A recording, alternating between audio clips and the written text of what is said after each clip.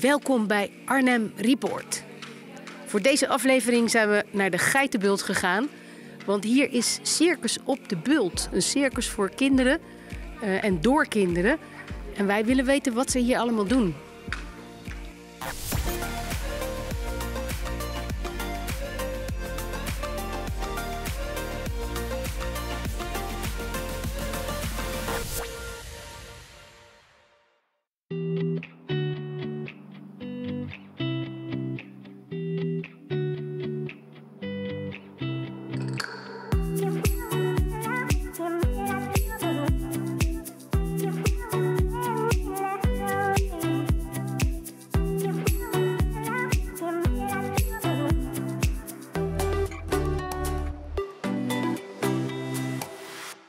Ilse Beers, jij bent van Circus op de Bult. Ja, dat klopt. Een uh, jeugdcircus in Arnhem. We zijn hier al tien jaar, geef ik circusles op de Geitenkamp. In eerste instantie voor Geitenkampse kinderen, maar nu ook steeds meer voor kinderen van buiten de Geitenkamp of van buiten Arnhem. Iedereen is welkom. Hoe is dit uh, ontstaan? Ik woonde eerst hier in de wijk en ik trad toen op als acrobaat. En kinderen zagen mijn bus staan en die kwamen vragen van wat doe jij? En die wouden ook allemaal circus gaan oefenen. En toen ben jij hiermee begonnen? Ja, klopt. En, en nu hebben jullie tienjarig uh, jubileum. Komt er ook feest?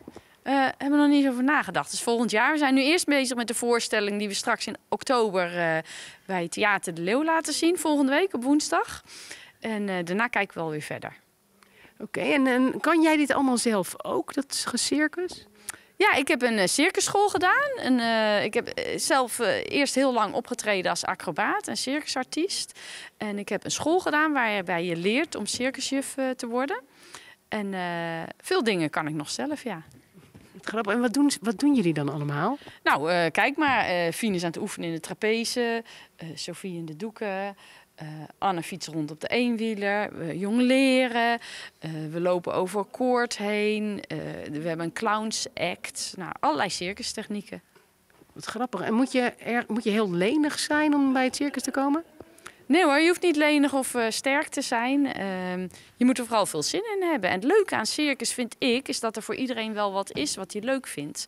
Of wat hij kan, goed kan, of waar hij goed in wil worden. We hebben echt een hele gemixte groep. Want ik denk dat degene die het langste bij zit, die zit er ook al bijna tien jaar bij.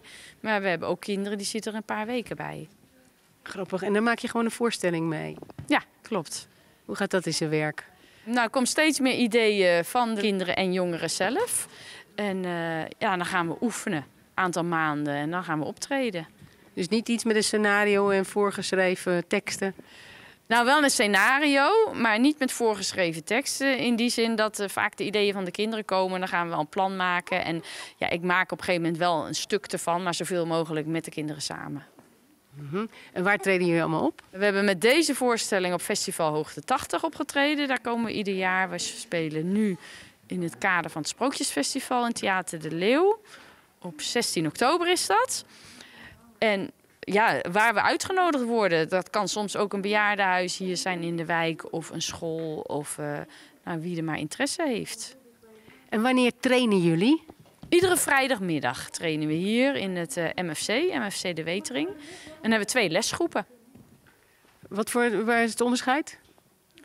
Um, ja, het is een beetje lastig, want we, we hebben leerlingen die heel lang erbij zitten en korter. Ik zeg altijd van kwart voor vier tot kwart voor vijf is het voor de kinderen van vier tot acht jaar. En voor de beginners. En de tweede les van kwart voor vijf tot zes is voor de oudere kinderen, ja, vanaf acht, negen jaar en de gevorderden. En iedereen kan erbij? Ja, iedereen kan erbij. Nou, bereid je voor op veel aanmeldingen. Ja, nou zeker. En uh, de eerste lesgroep is met name nog klein, maar nu hebben we ervoor gekozen om de lesgroep een uur later te doen, zodat het ook makkelijker toegankbaar is voor kinderen van buiten de wijk. Want die moeten natuurlijk even hierheen reizen. En daarom beginnen we om uh, kwart voor vier. Waar is het allemaal goed voor, Ilse Circus? Het is goed om te leren samenwerken. Het is vooral ook goed om plezier te hebben. En het is goed om te leren op om trots te zijn op wat je geoefend hebt en dat te laten zien. En het is goed om, uh, ja, niet alleen voor de kinderen, maar het is ook goed voor de ouders om het hier met z'n allen uh, een circus van de grond te krijgen. En het is goed voor de kinderen om vriendschappen te maken hier in de buurt. En het is ook goed om een uh, plek te hebben waar de kinderen zich veilig voelen en gezien worden.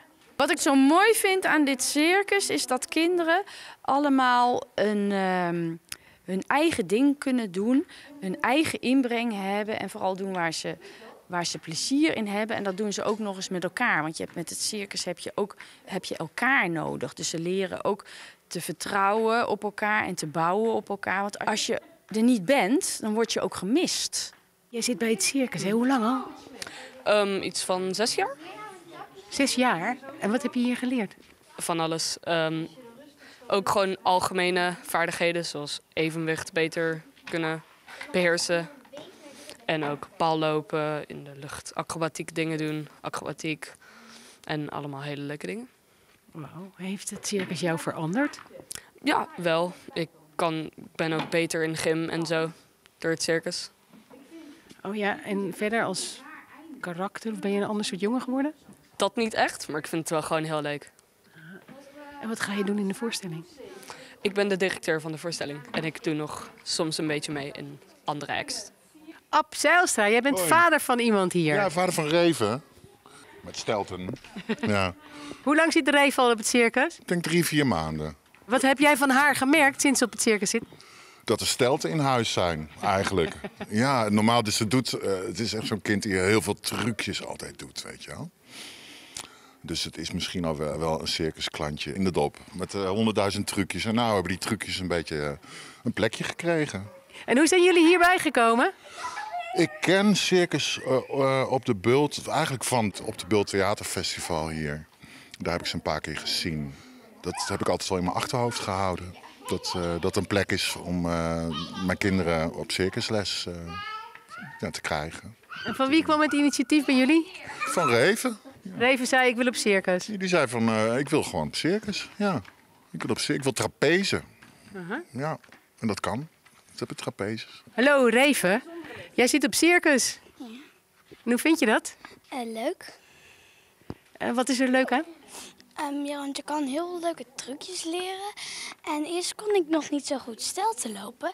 Maar toen probeerde ik een keertje los en toen lukte me het opeens. En dat is pas sinds kort? Ja. Wauw, wat voor gevoel geeft dat? Echt gewoon heel cool. Heel cool. En wat wil je nog meer leren hier? Mm, op het kort lopen. Op het koord lopen? Ja. En wat doe je in de voorstelling? Um, eerst gaan we allemaal op stelt lopen. En dan ga ik op het, een heel klein mini-fietsje met, met iemand anders, een mini-tandem-fietsje. En dan ga ik nog een ander trucje doen. Ja, kom